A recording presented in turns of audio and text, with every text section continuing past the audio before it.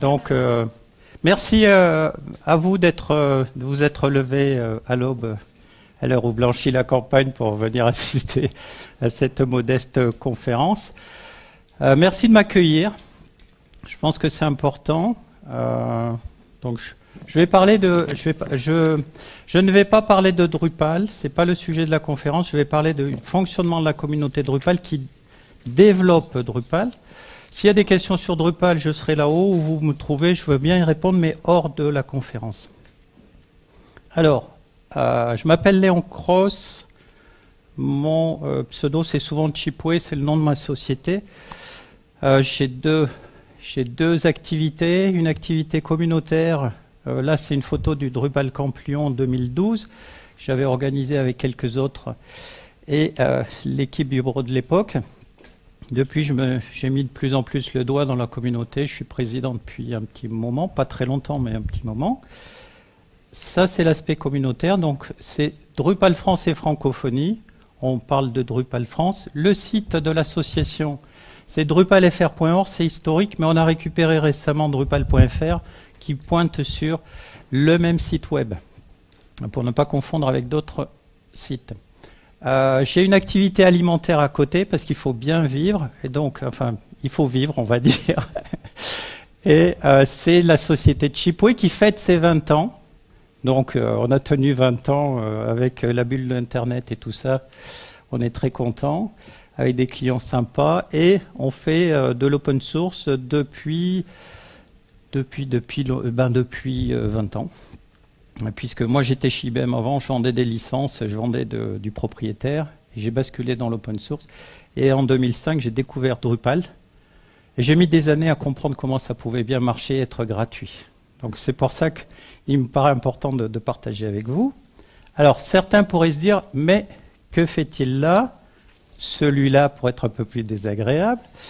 Voir euh, dire ah ça va si mal que ça euh, Drupal pour venir voir WordPress. J'ai eu droit à Lyon et en même temps c'était euh, c'était un peu taquin mais c'était pas méchant si vous voulez. Donc je suis là Aurélien l'a déjà dit pour établir des ponts entre les communautés parce qu'en fait en discutant tu n'as pas parlé du podcast mais à Lyon en juin j'ai discuté avec quelques personnes on s'est rendu compte qu'il y avait matière à échanger des idées.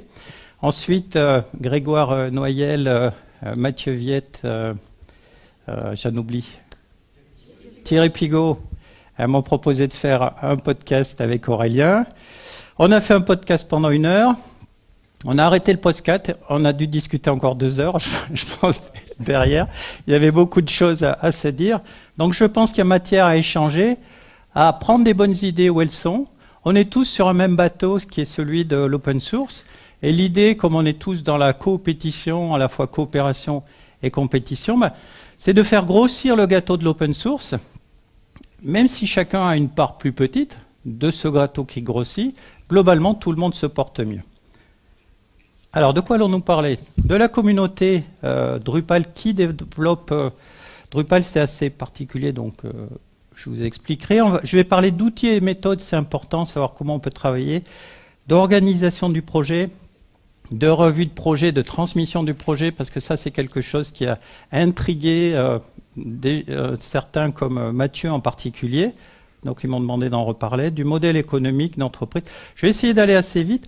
Des clés de la réussite de point de vigilance et je vais essayer de garder du temps pour les questions-réponses parce que c'est là que je peux vous apporter peut-être un peu plus.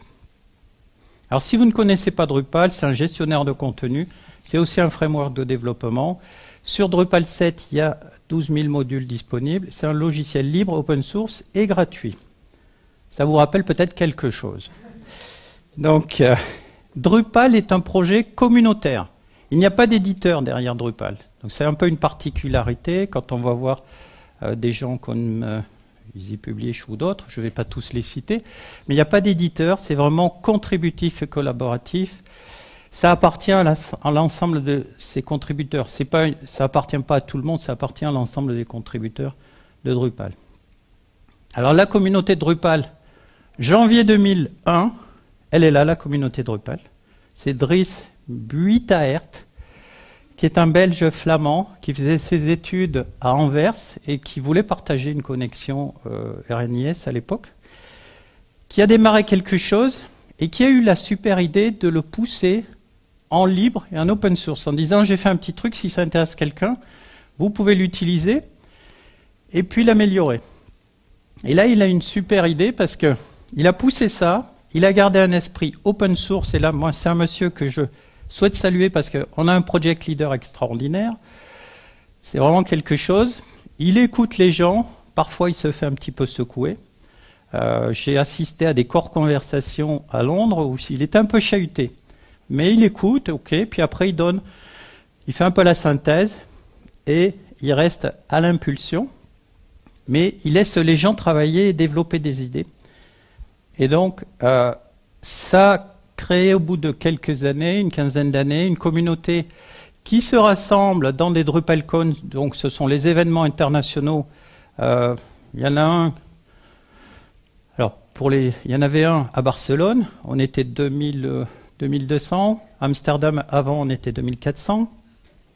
Il y en a un à Mumbai la semaine prochaine, je crois, ou la suivante. Il y en aura un à la Nouvelle-Orléans, il y en a un en Amérique du Sud. Donc il y en a à peu près 4 ou 5 dans le monde. Et aux États-Unis, quand ils se réunissent, ils sont entre 3005 et 4000 personnes. Et là, c'est le genre de truc déjà là vous pouvez passer une semaine sans voir les personnes que vous connaissez si vous n'avez pas pris la précaution de prendre leur numéro de téléphone avant. Ça m'est arrivé à Londres. Au bout d'une semaine, je repars et à la gare, je trouve quelqu'un que je n'avais pas vu de la semaine et qui habite Lyon. Donc c'est quand même extraordinaire. Mais ce n'était pas quelqu'un que, je voyais tous les jours non plus. Je n'avais pas pris son numéro. Alors, euh, ça peut être aussi des euh, camps ou des Drupal Developer Days. Ce sont des événements un peu plus petits Là, on était 350 en Montpellier. Une semaine où les gens viennent, ils payent leurs frais, ils payent une participation, ils payent leur hôtel, ils travaillent pas pendant ce temps, et ils viennent là pour faire quoi? Pour travailler pour le projet. Alors ça, c'est des choses, j'ai beau tremper dedans, ça me dépasse encore. C'est la magie un peu de l'open source et de ces projets contributifs. Euh, après, on a aussi, euh, on a aussi des meet-up locaux donc euh, on en a une dans une douzaine de villes en France qui marchent plus ou moins bien. À Paris, ils font le plein des salles à chaque fois. À Lyon, on est à peu près une vingtaine, et il y a d'autres villes où ils sont un peu moins nombreux. Il y a certaines villes, comme à Rouen par exemple, où comme ils ne sont pas suffisamment nombreux, en fait, ils font des choses avec euh, d'autres euh, projets. Et donc, une fois, on parle de, WordPress, une fois de, CSS, une fois de Drupal, etc. Ça tourne. Et je pense que c'est une super idée quand il n'y a pas une masse critique, et même s'il y a des, euh, des villes qui sont plus importantes, je pense que vous êtes tous les bienvenus dans les meet-up Drupal. Moi, j'ai pas beaucoup de temps, j'arrive pas à aller sur les meet-up à FUP, à Lyon, etc. Mais je viendrai avec plaisir à des meet-up aussi euh, WordPress. Je pense que c'est important de, de voir au-delà de son petit périmètre parce que on a tous un emploi du temps super chargé, on n'a pas beaucoup de temps et c'est vrai que si on peut aller échanger un petit peu, si on va dans une soirée et qu'on ne prend qu'une bonne idée, ne serait-ce en repartant, on n'a pas perdu son temps.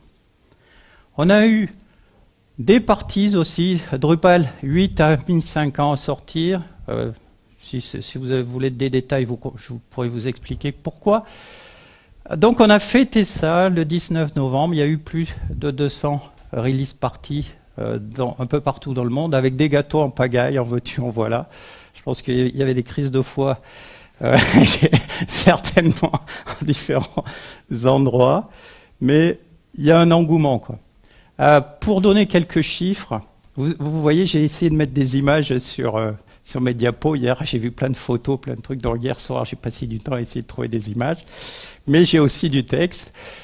Donc, Drupal 8 est sorti avec 3300 contributeurs qui ont, mis, qui ont participé à un commit ou quelque chose dans, dans le cœur. Euh, il y en avait 800 pour Drupal 7. Je vous expliquerai un peu ce qu'on fait comme travail pour arriver à ça. On a à peu près 100 000 contributeurs actifs sur drupal.org il y a à peu près un million de comptes actifs sur Drupal.org. Si vous ouvrez un compte, il est probable que vous serez au-delà de 3 millions aujourd'hui. Mais euh, voilà. Donc après, le volume, c'est pas tellement ça qui est important. Euh, il peut y avoir des millions de gens, si ils participent pas, ça apporte pas grand-chose au projet. Outils et méthodes.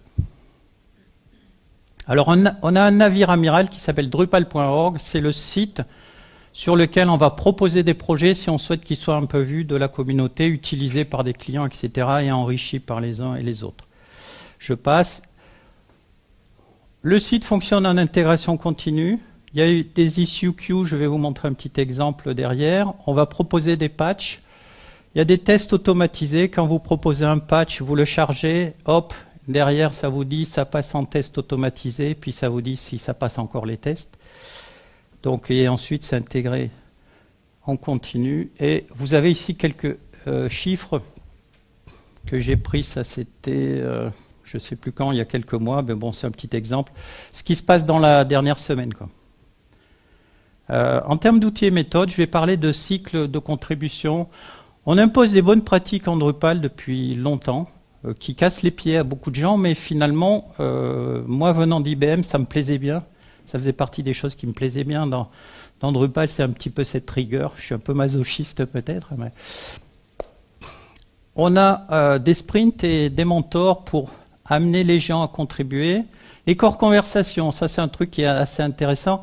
Julio hier parlait d'échanges sur Slack avec euh, je ne sais plus qui, sur quel sujet. C'est un peu le même principe. Là simplement vous avez un DrupalCon, cette salle est pleine de gens qui viennent là.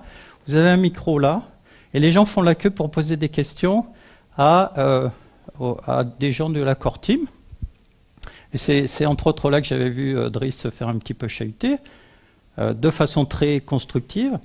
Et donc vous pouvez arriver, euh, ne pas connaître grand-chose et poser une question en anglais, bien sûr, dans ces cas-là, euh, qui peut changer Drupal. C'est ça qui est extraordinaire aussi, en fait, quand on est dans nos projets open source, c'est qu'on se dit, je suis un petit microbe, je ne connais pas grand-chose, j'arrive, je remarque quelque chose qui m'étonne, je le fais remarquer et ça change.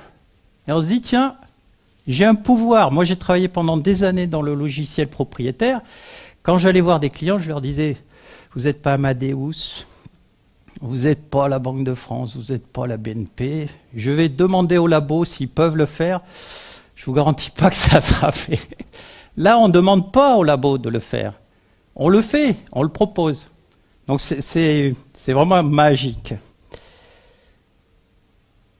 Les Open euh, Drupal Association Board Meeting, il y en a un par euh, DrupalCon. Donc ce sont des, des des meetings de, du board de la Drupal Association. N'importe qui peut venir participer, écouter, mettre son grain de sel.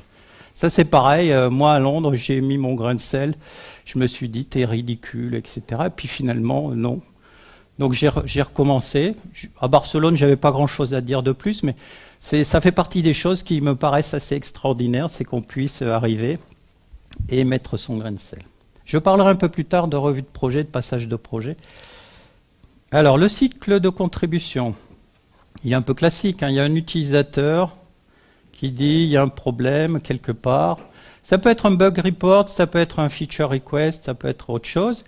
Il y a une développeur. Alors j'ai pris ça, ça doit être euh, euh, Angela qui a dû faire ça, je pense. Donc c'est en anglais. Le développeur fait un patch, il vous propose quelque chose et il dit ben voilà, ça passe en nit review. Il faudrait que quelqu'un jette un coup d'œil. Il y a Tatiana qui jette un coup d'œil, qui dit il y a ça qui va pas. Ensuite, Paola ou un autre développeur, n'importe quel développeur, peut proposer un autre patch. On va parler de reroll ou on va parler de, modification du patch. Et hop, ça repasse en needs review. Ensuite, euh, quelqu'un d'autre dit attention, il y a ça qui est pas bon. Et là, ça va être par exemple, euh, bon, ben, est-ce que vous avez testé sur les langues inversées? Ah, est-ce que quelqu'un veut bien tester les langues inversées puis sortir les copies d'écran? Est-ce que ça sort toujours? Est-ce que vous avez testé ceci? Est-ce que vous avez documenté? C'est pas marqué. Il n'y a pas ceci, il n'y a pas cela. donc il y a plein de choses, et à un moment donné, il y a quelqu'un qui dit c'est reviewed and tested. Super, on va pouvoir committer. Sauf que là, ça peut très bien repasser, remonter encore, needs work, needs review, etc. Et là, quand on contribue, il y a un phénomène où on voit parfois des issues qui font 150 pages de commentaires. Et on se dit, mon petit truc, ça va jamais sortir. Et de temps en temps, bah, ça sort, on se dit, tiens, il est sorti.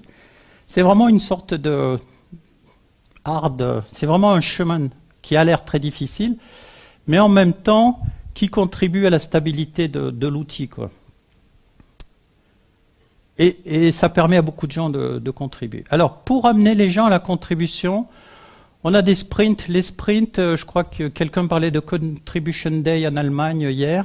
Euh, c'est un peu le même principe pour Drupal sur le WordCamp allemand. Le sprint, c'est quand il y a un camp, le dimanche, on va faire une journée de sprint. On va éventuellement en faire le samedi aussi. Quand il y a un DrupalCon, le DrupalCon, c'est mardi, mercredi, jeudi, conférence. Lundi, Community Summit, éventuellement des formations, euh, Executive Summit. Euh, le vendredi est dédié au sprint. Éventuellement, il y a des sprints étendus avant et après. Donc il y en a qui vont passer deux semaines autour d'un DrupalCon à sprinter. Le sprint, l'idée du sprint, c'est d'amener les gens à contribuer. C'est de dire, vous savez pas par où commencer, vous vous adressez à des gens qui ont un t-shirt jaune, ils vont vous mettre le pied à l'étrier. Là, par exemple, à Barcelone, on avait réussi à faire une table francophone, ce qui s'était jamais fait. Mais euh, Frédéric, qui est de dos, là, euh, avait une question de quelqu'un qui est venu qui dit Je suis pas à l'aise en anglais. Il a posé la question Est-ce qu'on peut faire est-ce qu'on peut mettre un badge FR pour ceux qui parlent anglais sur les mentors? Ok, ouais, c'est une bonne idée, très bien. Et donc on a, on a fait deux tables. Enfin, on a fait une table et puis après on a éclaté en deux tables parce qu'il y avait de la demande sur travailler en français. C'est vrai que pour les nouveaux c'était plus facile. Le principe du sprint, c'est on arrive, sur l'issue queue, là, il y a plein de sujets à traiter. J'arrive, quand je vois que je rafraîchis mon écran, il y a de nouveaux commentaires qui sont arrivés, je me dis, euh, je ne vais pas avoir le temps de suivre, je ne vais pas avoir le temps de comprendre. Donc il y a des activités qui concernent par exemple, qui consistent par exemple à faire des samouraïs, actualiser le, le résumé de l'issue. Pour les gens qui arrivent, qui voient un résumé et hop, ils peuvent euh, faire quelque chose d'efficace tout de suite. Mais j'arrive, une des premières difficultés pour les nouveaux contributeurs, c'est savoir par quoi commencer, quelle issue prendre, que faire. Donc c'est le rôle. Oh là, excusez-moi. Moi, j'aurais dû lui dire que c'était à cette heure-ci ma conférence. Euh, le rôle des. Donc, c'est d'aider les, gens arrivés, de leur expliquer voilà ce qu'il faut que tu fasses, il faut que tu ailles regarder à tel endroit. Il y a des guides. Tu dois faire par exemple des copies d'écran, c'est expliqué quelque part ce que tu dois faire. Tu veux faire une review, voilà, tu vas sur telle page, c'est expliqué. Tout ce que tu dois faire dans le détail, tu suis la procédure. Donc on est là pour les guider et puis les aider aussi techniquement sur les problèmes qu'ils peuvent avoir. L'idée qui euh, donc les t-shirts, ça vient depuis euh, Munich, je crois, ça doit faire 3-4 ans. Il y avait des mentors, mais c'était pas très clair. On rentrait dans euh, une salle. Imaginez cette salle, plus la salle qui est ici, tous les espaces qui sont ici. Imaginez des gens partout, tous les escaliers qui sont là, des gens partout avec leur ordinateur. Ça, c'est un truc, moi, ça m'a, ça m'a estomaqué. À Londres, il y en avait partout. À, Munich, il y en avait partout. Euh, j'ai du mal à comprendre toujours, mais quand on arrive à Paris, je me souviens, je, voulais sprinter à Paris. Je suis allé dans la salle des sprints. Il n'y avait aucune explication, c'était en 2009, il n'y avait pas de panneau. J'ai essayé de voir, d'attraper quelqu'un, je voyais qu'ils étaient tous sur leur ordinateur, je me suis dit, bon, bah, je vais sortir, je reviendrai un peu plus tard, et je suis parvenu finalement. L'idée, donc après, ils ont introduit, ils ont dit, bon, on va mettre des t-shirts, on va mettre des panneaux aux entrées de salle. Vous voulez travailler sur tel sujet, allez sur telle table. Vous voulez travailler plutôt sur tel sujet. Vous êtes graphiste, vous, êtes, vous voulez faire de la doc, vous voulez faire de la traduction. Voilà où aller. Et on a des sessions euh, qui sont des briefings euh, globaux. Alors ça, ce sont des gens qui savent sur quoi ils vont travailler. Donc ils sont autonomes. Une fois qu'ils ont passé ces, étapes, ils travaillent, ils arrivent, ils travaillent sur des issues. Ça discute par IRC et euh, essentiellement par IRC, puis après par les issues queue. Pour les nouveaux qui arrivent, on a des salles comme ça où on va leur expliquer, voilà, il vous faut installer ceci sur votre ordinateur, vous allez installer ceci, vous allez installer tel outil, etc. Et on va vous expliquer comment faire. Et après, on va vous mettre dans les mains de mentors qui, eux, vont vous expliquer quelle issue attraper et comment progresser. L'idée à l'issue des sprints, c'est que les gens repartant chez eux participent et continuent à participer de chez eux ou de leur entreprise. Alors, euh, on a un autre outil qui permet de faire des traductions en ligne. On a gagné 10 contributeurs en un mois à peu près ici. Donc, qui nous permet de partager les traductions et qui nous permet à la fois de traduire le corps et les extensions et de le récupérer automatiquement sur, sur Drupal. Donc on dit à tous, plutôt que de traduire dans votre coin, allez le mettre là. Alors quel est l'intérêt? Je suis une agence web, je vais traduire, j'ai pas envie que mes petits copains aient la traduction. Mais si, parce que si les petits copains ont la traduction de ce module, de cette extension, eh ben ils vont traduire une autre extension. Et donc euh, on aura une meilleure traduction. Et pour moi, qui fait de la traduction, plutôt que de la stocker dans un coin, mais je vais la stocker là. C'est aussi un outil de stockage. Donc c'est pas perdu pour moi non plus. En termes d'organisation, on a besoin d'avoir des outils, on a besoin de serveurs, on a des noms de domaine, on a des problématiques de noms de domaine, il y a la marque Drupal à défendre, il y a des événements organisés, donc on a besoin de structures qui peuvent gérer des aspects financiers, des aspects juridiques, d'assurance, Donc il y a une structure internationale qui est la Drupal Association, et il y a des structures éventuellement par pays comme Drupal France et Francophonie. Alors, on se pose des questions par rapport à la francophonie. Il y a quelques pays qui ont leur association. On en avait discuté, je crois, un petit peu. On a encore francophonie, peut-être qu'à un moment donné, on fera tomber francophonie, mais on a dans nos missions d'aider les pays francophones à éventuellement mettre en place des événements, etc. S'ils n'ont pas de structure, on peut éventuellement les aider. Ça dépend des conditions politiques et autres du, pays. Ça peut être plus ou moins compliqué. Mais ça fait partie de notre mission historique. On est une duocratie, c'est-à-dire celui qui, voit un problème le, le règle. Par contre, c'est un peu structuré, on essaie de la structurer de plus en plus. À un moment donné, c'était les bisounours. C'était un petit peu complètement autonome et on essaie de structurer de plus en plus, de façon à ce que les énergies se dissipent pas dans la nature. Donc, euh, mais par contre, ce qui est assez intéressant, par exemple, si je prends la liste de diffusion du bureau, elle est modérée par quelqu'un qui n'est pas au bureau. Et moi, ça ne me pose pas de problème. Parce qu'on a plein de spams qui arrivent, et moi qui vire les spams, ça ne me pose pas de problème. Qui voit des choses qui arrivent pour le bureau, ça ne me pose pas de problème. On est open source en même temps.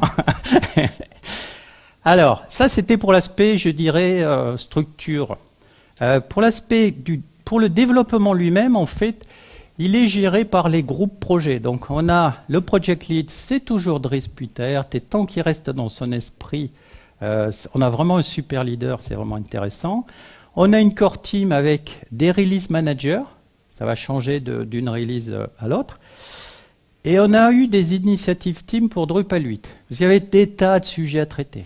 On passait du fonctionnel, de développement fonctionnel à l'objet. On passait avec Symfony 2, avec des tas de bibliothèques. On voulait du responsive, on voulait plein de choses. Et donc ça posait plein de problématiques. Donc on a éclaté ça avec des teams sur des aspects particuliers du développement de Drupal 8. On a aussi une security team qui a vocation à scanner. On a des scanners qui tournent et qui scannent le corps et qui scannent les modules contributifs, un petit peu au hasard, mais en même temps, cette security team et n'importe qui euh, contributeur peut aussi faire euh, de la security review, fait aussi de la review manuelle. Donc, on prend des modules, on lit le code et on regarde s'il n'y a pas des problèmes éventuellement de sécurité. Euh, il y a des groupes euh, de travail éventuellement sur différents sujets, et puis il y a euh, les euh, centaines de milliers de, enfin, les dizaines de milliers de contributeurs qui apportent leur grain de sel, donc jusqu'à une centaine de milliers, et qui peuvent apporter sur différents sujets. Je parlais de traduction tout à l'heure, je vous ai montré un petit peu l'outil. La traduction, c'est souvent un point d'entrée pour les nouveaux qui arrivent, qui ne savent pas développer, euh, qui ne sont pas graphistes, qui n'ont pas trop envie d'écrire de la doc, et ben on leur dit regardez côté traduction. C'est une des choses les plus faciles à faire. Et par exemple, on a fait un sprint à Lyon. Il y a une jeune femme euh, qui est venue. Elle y connaît rien, c'est pas son truc. Simplement, elle a un petit site et elle avait des problématiques de traduction. Donc, elle est venue. On lui a expliqué. Comme ça, elle peut améliorer la traduction des modules de son site. Alors, on a amélioré. On a au début vécu dans notre sphère Drupal. Ensuite, on s'est un petit peu ouvert sur l'extérieur. On a introduit des bibliothèques externes et de plus en plus. Et quand on a fait décider de passer à, à l'orienté objet, on s'est posé la question de savoir est-ce qu'on va tout réécrire ou est-ce qu'on va s'appuyer sur des frameworks? Et là, Symfony avait déjà un petit avantage technologiquement parlant, et en plus, il y a une super communication entre la communauté Drupal et la communauté Symfony. Ce qui fait qu'on utilise beaucoup d'éléments euh, venant de Symfony dans Drupal 8, mais on s'est ouvert aussi à l'extérieur. Par exemple, on, participe au euh, euh, Framework Interoperability Group, le PHP FIG, et puis on essaie de développer les échanges avec les autres communautés. C'est l'objet de, ma présence aujourd'hui. Moi, j'ai déjà fait intervenir dans des meet-up à Lyon, j'ai déjà fait intervenir des gens de Typo 3, je discute avec les autres CMS. Pourquoi? Parce qu'il y a deux aspects. Moi, je fais du conseil aussi sur Internet. Donc, je dois surveiller un peu ce qui se passe à côté. Quand j'ai un client, euh, si Drupal n'est pas adapté, mon rôle en tant que consultant, même s'il me propose de faire les sites, c'est de dire non, je pense que Drupal n'est pas la meilleure solution, donc allez voir plutôt WordPress. Je pense que ça sera plus, plus adapté. Euh, et comme on fait chez Chipway, on, est vraiment spécialisé sur Drupal en plus de, l'Internet. C'est un peu dangereux. D'où cette nécessité qu'on fasse du benchmark régulièrement de ce que font les autres CMS et qu'on se tienne au courant et de façon à pouvoir dire ah ben euh, il y a une problématique Drupal ça part en vrille il y a des changements de philosophie il y a quelqu'un qui a mis le, le grappin dessus et eh ben on peut aller sur une autre techno très rapidement. Donc c'est important de toute façon de savoir ce qui se passe au-delà de son jardin ou de son précaré. Alors je vais parler de revue de projet, parce que là ça, ça en étonne plus d'un. Quand vous proposez un, un module sur Drupal.org, vous allez le mettre dans une sandbox. Jusque-là, il sera sous votre code utilisateur avec un numéro. Et à un moment donné, vous dites Ah, mon projet, j'aimerais bien qu'il ait plus de visibilité. Parce que tant qu'il est en sandbox, ça veut dire Ouh, ouh, ouh, vous allez utiliser votre, mon module, attention, euh, il peut tout casser. Donc on va le passer en full project, ça lui donne plus de, plus de solidité. Et là où j'avais euh, trois personnes ou quatre sites qui l'utilisaient, je vais passer peut-être à 50 ou à 5000, voire à 1 million. Euh, Views est utilisé sur 950 000 sites à peu près d'où euh, le fait qu'on l'ait mis dans Drupal 8. Euh, pour passer du bac à sable au full project, on ne va pas valider le projet, on va valider surtout le mainteneur du projet, celui qui développe ce projet. Et ça, ça va se faire avec des cycles multiples. Donc il va proposer son, code review. OK. Donc les contributeurs qui font les reviews, ils n'ont pas trop de temps. Donc il y en a un qui jette un coup d'œil, il dit bon, la page projet, je ne vois pas ce que ça fait. Il faudrait expliquer ce que fait ton module. Ok. Donc le contributeur explique ce, que fait le module. Il y a quelqu'un d'autre qui fait la review qui dit ah, je vois qu'il y a un problème là, tu n'utilises pas les API, il faut utiliser les API. Ok, bon, j'utilise les API. Euh, ah, il n'y a pas de copie d'écran. Euh, attention là, euh, tu respectes pas les codings standards, etc. Et donc, il y a des cycles multiples on le passe vraiment au scanner et on a un petit peu l'impression que le microscope devient oppressant. C'est euh, ouf. Il y en a certains, ça dure des mois pour passer de sandbox à full project. Parce qu'il y a une interaction, et moins vous répondez vite, et moins les, ceux qui font du code review vont vous répondre vite, parce qu'ils voient que vous n'êtes pas réactif. Donc il n'y a pas la motivation. C'est un peu un phénomène où plus on donne et plus on reçoit. Je vois que ça résume assez bien.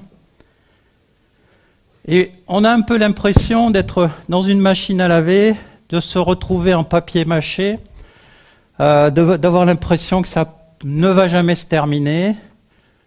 Mais à un moment donné, ça arrive et le projet passe en full project. Et là, certains considèrent ça un peu comme un parcours initiatique. Et en tout cas, tous ceux qui sont passés par là considèrent que c'est une très bonne école. Il y en a beaucoup qui disent, finalement, c'est vrai qu'on m'a cassé les pieds énormément sur mon truc, il y a peut-être des dizaines d'échanges, mais à la fin, qu'est-ce que j'ai appris? Je ne me rendais pas compte qu'il fallait utiliser ceci, qu'il fallait faire cela, que je ne faisais pas bien. Et avant de faire d'autres modules, eh ben, j'ai appris beaucoup. Donc ça, c'est le principe de la revue de projet. Ça freine un peu la contribution au full project, ça, clairement. Mais je pense que c'est important qu'on le garde. On travaille, on réfléchit un peu sur comment améliorer ça, mais je pense que cet aspect un peu parcours initiatique n'est pas, est pas, forcément mauvais. Ensuite, il y a quelque chose qui a beaucoup étonné, euh, crois que c'est Mathieu, il me semble, euh, c'est l'histoire du passage de projet.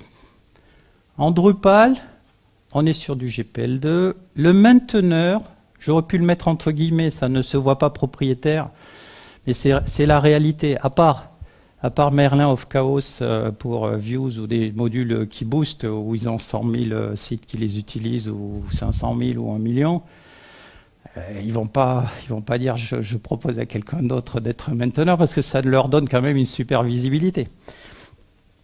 Mais il y en a qui sont des serial contributeurs. Donc ils, ont, ils font un module pour un client ou ils ont fait un module et on se rend compte que sur leur page euh, user, ils ont 25 modules. Et à un moment donné, ils disent non mais là le module, si vous voulez qu'il évolue, moi euh, non j'ai pas le temps. Donc ils mettent dans, leur, ils taguent leur module avec un terme du type seeking commentainer. Ça c'est qu'ils veulent pas tout à fait lâcher, mais ils veulent que d'autres interviennent. Et éventuellement seeking new maintainer. Non j'ai vraiment pas le temps.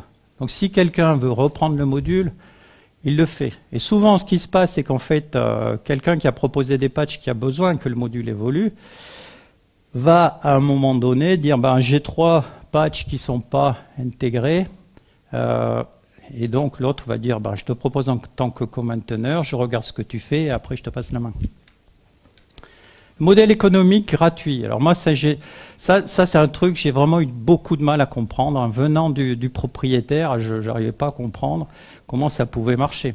Surtout quand je vois tous ces gens qui travaillent gratuitement, euh, j'ai mis des années à comprendre. J'ai utilisé d'abord Drupal. Moi, plusieurs années, j'étais un consommateur de, Drupal avant de commencer à contribuer.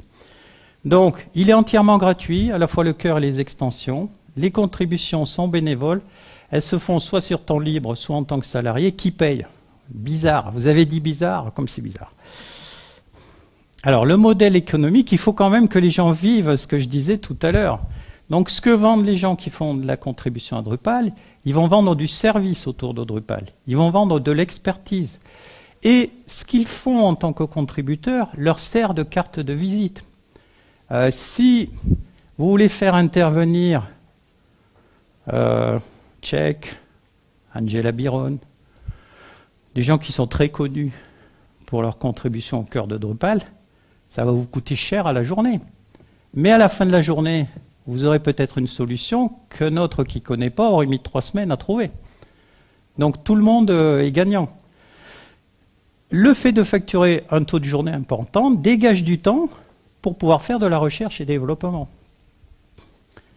Il y a un cercle vertueux aussi de contribution. Moi, j'explique à mes clients, s'il y a un bug, soit on, intervient, on altère sans modifier le, module, c'est possible dans beaucoup, beaucoup de cas, soit on propose un patch, et un patch, moi, j'ai pas envie de gérer les patchs sur chaque mise à jour. Ça me fait perdre du temps. Donc, ce que je vais faire, je vais proposer au mainteneur du module, voilà un correctif. Si tu l'intères, moi, j'ai plus de patch. Ce que je fais ma mise à jour, eh ben c'est bon, j'ai ma correction dedans. Donc ça, j'ai intérêt, moi, en tant que contributeur, en tant que développeur ou en tant que client à avoir ça. Et on partage les coûts. L'intérêt, c'est que par exemple, une entreprise comme Radio France avait fait un petit module, il l'avait fait développer. Ils l'ont mis, après des années, ils se sont dit, euh, on utilise Drupal sur plein de sites, ça serait peut-être bien qu'on contribue un peu. Donc ils ont sponsorisé un peu, puis ils se sont dit, on va mettre un module en contributif. Le bénéfice, c'est qu'au bout de deux ans, leur module, il était complètement euh, transformé. Il était largement amélioré. Donc ils ont repris le module contributif à la place du leur. Et donc ça, c'est du partage de coûts. Je finance une partie à la place de financer l'ensemble le développement. Et puis, on essaie de mettre en, place une reconnaissance à la fois des contributeurs. On le fait de mieux en mieux. Et un contributeur, euh, quand il y a un commit, Enfin, quand il fait une contribution à un patch ou n'importe quoi, il peut dire c'est moi et là c'est en tant que salarié de telle société ou pour tel client éventuellement. Et donc ça fait euh, ça fait de la comment dire la carte de visite à la fois du contributeur et de ces sociétés. Les clés de la réussite. Pour moi, le fait qu'ils soient entièrement gratuits est vraiment une des clés de la réussite parce que ça m'incite à contribuer. Donc, je tiens à cette gratuité. La culture de la contribution, je pense que c'est vraiment la base du fondement de, nos outils open source. Hein. Il faut qu'on la cultive. Il y a toujours à faire, il y a toujours, mais c'est vraiment un fondement. Une communauté ouverte et accueillante, et là je vous remercie pour, votre accueil à la fois à Lyon, au podcast ou, aujourd'hui. Donc euh, c'est important. C'est vrai que c'est pas facile d'accueillir les nouveaux, c'est pas facile de quitter le groupe de gens qu'on connaît, qu'on n'a pas vu depuis un petit moment et d'aller vers les nouveaux, mais ça fait partie de, je dirais, du job des, animateurs des communautés. On a un leader qui est hors pair, il est au-dessus clairement, mais en même temps il est parmi eux. Moi, je me souviens à Londres, je sprintais avec Check, on était quatre à la table, il y en a un cinquième qui s'est rajouté.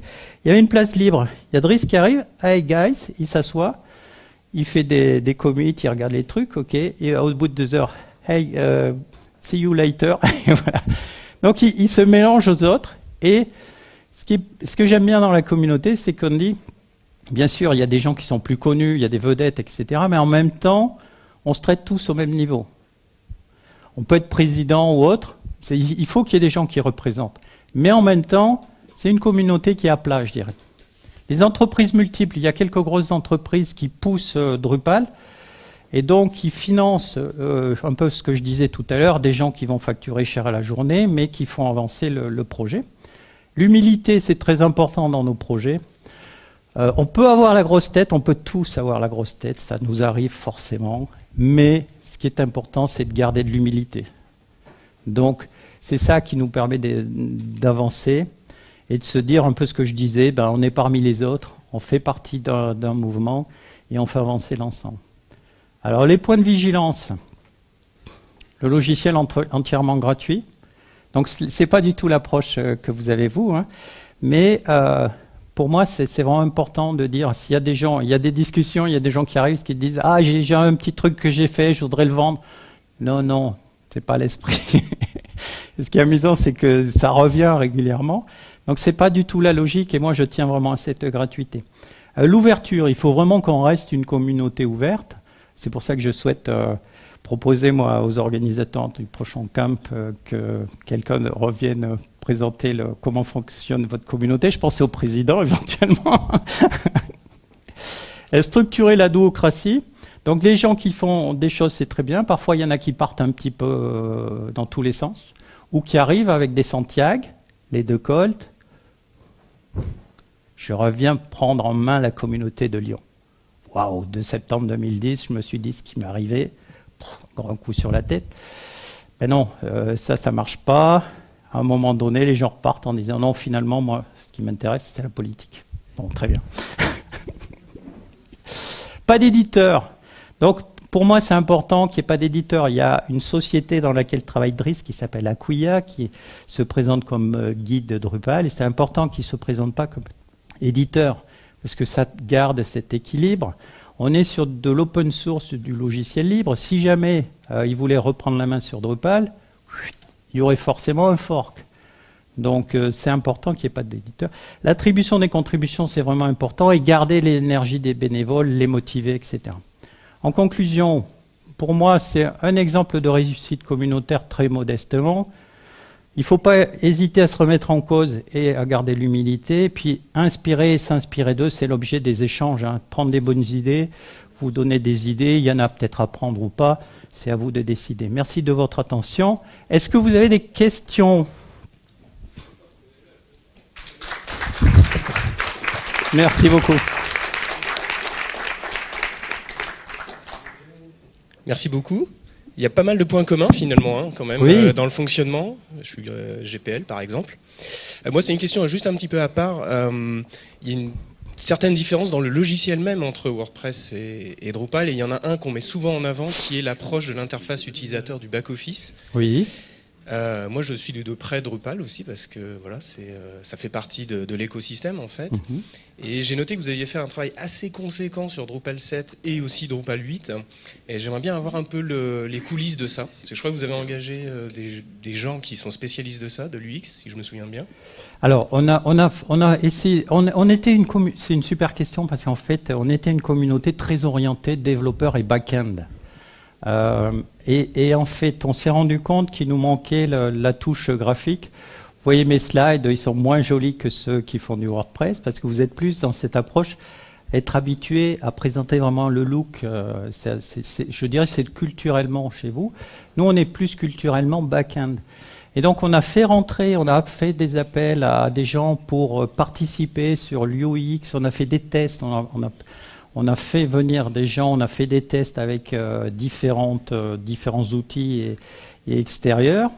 On fait des appels aussi à des graphistes. Par exemple, pour Drupal France, je fais un aparté. Euh, Jusqu'à minuit ce soir, il y a un petit concours pour faire le nouveau logo de Drupal France. Donc on a déjà quelques, propositions qui sont intéressantes, dont certains nous ont vraiment décliné la charte. Il y a, il y a 15 pages avec euh, les couleurs euh, papier, les couleurs web, etc. C'est vraiment super précis. Donc on fait appel aux compétences qu'on n'avait pas. C'est pour ça qu'on essaye d'ouvrir la communauté. Et effectivement, on participe un peu plus à des Front-End United ou des événements comme ça qui vont brasser des gens euh, de différentes open source ou autres pour parler de ces aspects. Mais il y a eu un très très gros effort là-dessus. Ça fait partie du fait que enfin, ça fait partie des éléments qui font que ça a duré 5 ans pour sortir de, dans le Bonjour, euh, je vous remercie de la présentation. J'aimerais revenir sur l'aspect euh, alimentaire que vous avez. Oui. euh, donc, ce que vous avez mis en avant un certain nombre d'arguments qui sont effectivement convaincants. Ce que je voulais savoir, si ça est-ce que, d'après votre expérience, ça suffisait pour tout le monde pour, euh, pour manger en quelque sorte? Et puis, la question pouvait s'adresser également à la communauté WordPress. Alors, euh, effectivement, on voit, on de temps en temps des sociétés, ça, ça, ça dans tous les projets, on, l'aura. Hein. On a des sociétés euh, qui vendaient du propriétaire, ils consomment de l'open source et eux, ce qui les intéresse, c'est faire de la marge. Avec ces outils, la contribution, ça ne les intéresse pas du tout on ne pourra pas y échapper à ça. Mais c'est peut-être pas la question en fait. Est-ce que ça suffit à tout le monde? Je dirais que moi, je gagne beaucoup moins bien ma vie que je la gagnais chez IBM. Est-ce que ça répond à la question? Mais après, c'est un choix de vie. J'en parlais euh, au repas des conférenciers. Je disais, dans la vie, il y a des choses qui sont importantes. Il y a déjà faire un job intéressant, avoir euh, une femme et des enfants ou un mari euh, avec qui on passe du, temps agréable et qu'on aime. Euh, et il faut pouvoir manger, il faut pouvoir s'habiller. Après, on n'est pas obligé. Moi, je ne vais pas au ski, j'ai pas de, besoins comme ça. Donc, je dirais une philosophie. Il y a des gens qui veulent euh, gagner un maximum d'argent, et c'est pas forcément dans l'open source qu'il faut qu'ils viennent. Et puis il y a des gens qui ont une philosophie, ils disent la vie est courte et j'aimerais faire des choses intéressantes. Et et contribuer. Apporter aux autres, ça, ça nourrit en fait. Hein. Enfin, moi, c'est ma perception. Non, je suis. Euh, tout le monde ne peut que souscrire à ce que vous dites. La question, c'était plus est-ce qu'il y a des entreprises qui ont fait le choix de la contribution et qui, euh, au bout de quelques années, voire même plus court, quelques mois, on finit par euh, mettre la clé sous la porte parce qu'ils euh, n'arrivaient pas à payer leur salaire. C'est plus ça, c'était plus ça la question, pas tellement une philosophie de vie auquel je souscris. Ok. Non, je pense que ça pourrait arriver si les gens ont fait, euh, mettaient toute leur équipe à contribuer et oublient de faire rentrer de l'argent. Ça, ça pourrait arriver, effectivement, parce qu'il y, a une passion là. Contribuer, c'est souvent plus intéressant que d'aller résoudre un problème client, parce que ça donne une autre roi. Oui, ça pourrait être le risque, c'est de se focaliser trop là-dessus et de ne pas passer assez de temps à faire du service. Moi, la rigueur, j'en ai une. Euh, vous avez parlé de doocratie. Alors, j'ai pas bien doocratie. suivi. Alors, doocratie, c'est celui qui fait qui décide. C'est ça le principe. D'accord. Il faut faire quelque chose. Il y a quelqu'un qui se dit ah, il faut faire quelque chose. Il décide. Et simplement ça, ça a fonctionné pendant des années comme ça, mais du coup, euh, on ne savait pas trop ce qui se passait. Il y en avait qui décidaient de certains trucs.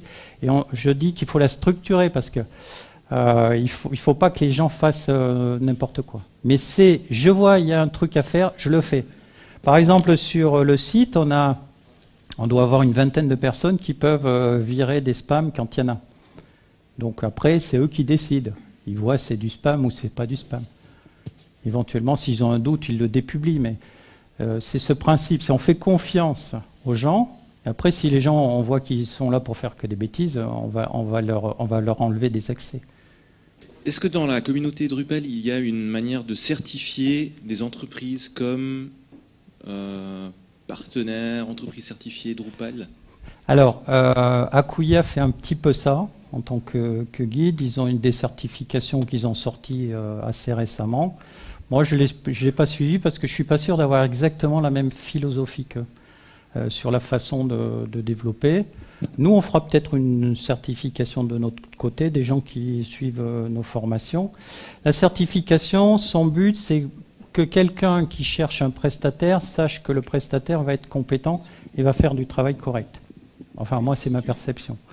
Il y a eu des discussions depuis Londres 2011 euh, sur est-ce qu'on fait une certification communautaire? Priori, ça n'a pas abouti. Akuya a sorti la, sienne. Je pense qu'il y en aura peut-être euh, d'autres, mais euh, oui, il y a ça. Puis après, il y, a, ceux qui ont suivi certaines formations et qui disent j'ai été en formation euh, dans telle boîte. Les gens qui connaissent les formations en question savent ce qui peut en ressortir. Mais il ne faut pas. la certification, pour moi, c'est pas forcément indispensable. Il y a l'aspect carte de visite et il y a l'aspect réseau. L'aspect réseau aussi, c'est intéressant parce que on, se connaît entre nous, on sait un peu ce que savent faire les gens. Et donc, quand on a besoin d'une compétence, on va faire appel à une compétence pertinente par rapport aux besoins. Mais c'est vrai qu'un client nouveau, ce n'est pas ça de base. Oui, moi j'avais une dernière petite question. En fait, je ne connais pas vraiment Drupal, j'avoue. Oui. Euh, et euh, c'est un open source, donc euh, CMS open source, donc forcément gratuit. Vous insistiez tout à l'heure là-dessus. Est-ce que vous avez des extensions aussi comme nous qui peuvent être payantes et qui enrichissent en plus le, le corps? Non. Non, non. On n'a rien de payant. Et ce qui peut être payant, ça va être des services. Par exemple, si vous voulez faire du Mailchimp, vous allez payer le service Mailchimp J'aurais peut-être pas dû citer de marque, mais, euh, mais par contre, le, module MailChimp pour connecter Drupal à MailChimp, il est gratuit. Si vous voulez faire de la traduction, il y a plein de services de traduction qui proposent les, les connecteurs pour Drupal pour aller euh, acheter leurs services. Mais sinon, tous les modules euh, sont gratuits. Les modules sont gratuits. Et pour moi, c'est vraiment important. Bonjour, par rapport à ça, justement, j'avais entendu parler, je ne connais pas très bien Drupal, j'avais entendu parler que c'était cher euh, mais j'entends ici que tout est ah. gratuit. Alors oui. cette notion de cher, c'est quoi? Ce sont les services, l'intégration C'est une bonne question. Moi, je dis souvent aux clients qui nous appellent, je leur dis, vous savez, c'est gratuit, mais ça coûte cher. Voilà. Ok, simplement ce que vous achetez, c'est du service. C'est des gens qui vont mettre en place, créer votre site avec, ou votre intranet, ou votre boutique, enfin tout ce qu'on peut, peut faire. Mais il n'y a pas de licence vous n'allez pas payer de licence derrière. Ce que vous allez éventuellement payer, c'est une maintenance si vous souhaitez que ce soit nous qui maintenions. Et par contre, dans l'entreprise dans laquelle je travaille, notre philosophie, c'est d'autonomiser les gens jusqu'au niveau où ils souhaitent aller. Il y en a qui disent, moi, je veux juste être éditeur, gestionnaire de contenu. OK. il faut que vous ayez un prestataire qui fasse les mises à jour de, de Drupal, etc. Et puis il y en a d'autres qui veulent être complètement autonomes, et à ce moment-là, on va, on va les pousser, on va les former jusqu'à ce qu'ils sachent créer leur site, le, développer, l'étendre, le modifier, etc. Donc euh, c'est effectivement ce que je disais. Euh, le taux de journée en Drupal, je ne sais pas du tout s'il y a un taux de journée en, WordPress. Euh, pour nous, il est important qu'il soit correct, de façon à ce qu'on puisse passer du temps à contribuer aussi. Il y a des clients, je parlais de la contribution, il y a des clients à qui on explique qu'il a intérêt à ce qu'on contribue. Et certains acceptent qu'on prenne un peu de temps pour contribuer le module qu'on fait pour eux. Et d'autres disent non, on vous autorise à le contribuer, mais faites-le chez vous. Et dans ce cas-là, ben, on, le fait, on le fait sur notre temps, quoi, ou euh, le soir. Euh, je ne sais pas si la réponse va être courte, mais je Sinon, je serai là-haut. Très bien. Je viens d'une agence où on fait à la fois du WordPress et du Drupal. Oui. Euh, chaque CMS a ses avantages et ses inconvénients. Là où souvent ça pêche, WordPress, on leur dit, il y a les mises à jour automatiques, ça se fait tout seul, ça se fait relativement bien. Oui. Drupal, il va falloir passer de la 6 à la 7, il va falloir passer de la 7 à la 8. C'est difficilement plus vendable à un client en termes de jours hommes de maintenance euh, Alors, euh, là, il y a des gens qui vendent des long-term des long term support. Nous, on ne vend pas de long-term support. Par contre, si on regarde historiquement, on, a nos versions majeures qui tiennent, je dirais, entre 4 et 6 ans. la Drupal 7 aura est sortie en 2011. Elle va être supportée jusqu'à la sortie de Drupal 9. Et Drupal 6 était sorti en 2008 et était supporté jusqu'au 19 février qui va venir. Donc il y a cette notion. Et pour euh, Drupal 8, on a travaillé sur la migration. Si on veut passer d'un 6 ou d'un 7 à Drupal 8, c'est beaucoup plus simple qu'avant. Voilà. Et je vais, on va laisser on la en salle. Ensemble. Je vais remonter là-haut si vous avez d'autres questions, je pourrai y répondre. Merci, merci beaucoup. Merci à vous.